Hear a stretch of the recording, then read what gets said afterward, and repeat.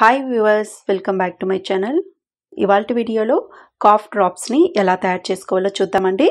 Throat infection వచ్చినప్పుడు గొంతు నొప్పి పొడి దగ్గు అలాగే గొంతు బొంగురుపోతూ ఉంటుందండి. అలాంటప్పుడు మనం ఉపశమనం కోసం స్ట్రెప్సిల్స్ కానీ విక్స్ బిల్లల్ని కానీ తీసుకుంటూ ఉంటాం కదా.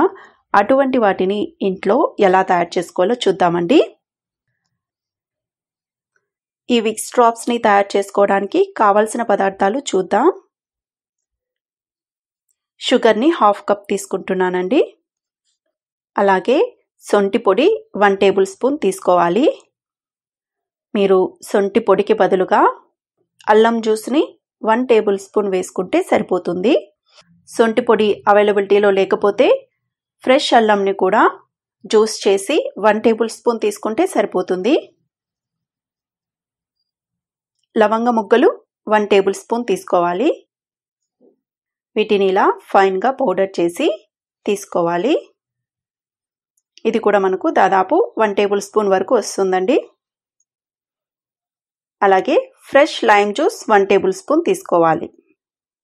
ఇప్పుడు తయారీ విధానం చూద్దామండి. స్టవ్ వెలిగించి అడుగు మందంగా ఉన్న ఒక గిన్నెను పెట్టుకోవాలి. ఇందులో ఇంగ్రీడియంట్స్ అన్నీ కూడా వన్ బై వన్ వేసుకుందామండి.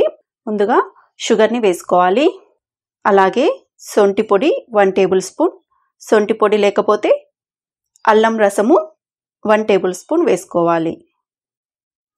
తర్వాత ఫైన్గా పౌడర్ చేసుకున్న లవంగ మొగ్గల పొడిని కూడా వేసుకోవాలి. వీటన్నింటినీ స్పూన్ తోటి ఒకసారి మిక్స్ చేసేసుకోవాలి. ఇప్పుడు ఇందులో lemon juice one table spoon వేసుకోవాలి. అలాగే వాటర్ని కూడా పావు కప్పు వేసుకుంటున్నానండి. వాటర్ ఎక్కువ యాడ్ చేసుకుంటే ఉండపాకం రావడానికి టైం ఎక్కువ తీసుకుంటుంది.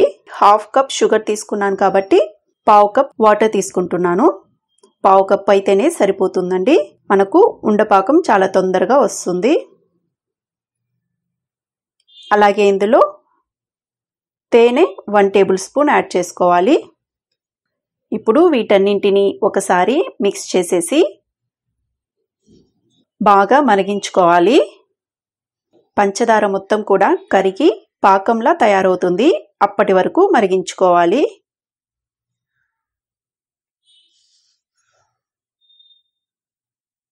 పంచదార పాకంని అప్పుడప్పుడు మధ్యలో కలుపుతూ ఉండాలండి. లేకపోతే అడుగు పట్టేస్తుంది. ఒకసారి పాకంని మనం వాటర్లో చెక్ చేద్దామండి. ఒక చిన్న బౌల్లో వాటర్ తీసుకొని అందులో పాకంని రెండు డ్రాప్స్ వేసి ఇలా మొత్తం ఒక ముద్దలా చేస్తే ముద్దలా రావాలి కానీ ఇక్కడ రావటం లేదు. వాటర్లో కరిగిపోతోంది. కాబట్టి మరికొద్దిసేపు పాకంని మరిగించుకోవాలి. ఒక రెండు మూడు నిమిషాల తర్వాత మరొకసారి చెక్ చేస్తానండి. మనకు ఉండలా తయారైంది. చూడండి పాకం మొత్తం కూడా మన చేతికి ఒక ఉండలా తయారై వచ్చింది. ఇప్పుడు మనకు పర్ఫెక్ట్గా పాకం తయారైంది. ఇప్పుడు స్టవ్ కట్టేసి వెంటనే ఈ షుగర్ సిరప్ని బటర్ పేపర్పై డ్రాప్స్లా వేసుకోవాలి. ఈ బటర్ పేపర్ని ఎలా తయారు చేసుకోవాలో మన ఛానల్లోనే ఉందండి. లింక్ని మీకు డిస్క్రిప్షన్లో ప్రొవైడ్ చేస్తాను. కావాలంటే ఒకసారి చెక్ చేయండి. పాకం మొత్తం కూడా చిన్న చిన్న డ్రాప్స్లా బటర్ పేపర్పై వేసుకోవాలి. ఇలా డ్రాప్స్ని వేసుకున్న తర్వాత ఈ డ్రాప్స్పై ఐసింగ్ షుగర్తో డస్టింగ్ చేసుకోవాలండి. ఇలా ఐసింగ్ షుగర్తో డస్టింగ్ చేసుకోవడం వల్ల ఇవి స్ప్రెడ్ అయిపోకుండా అలానే ఉంటాయి.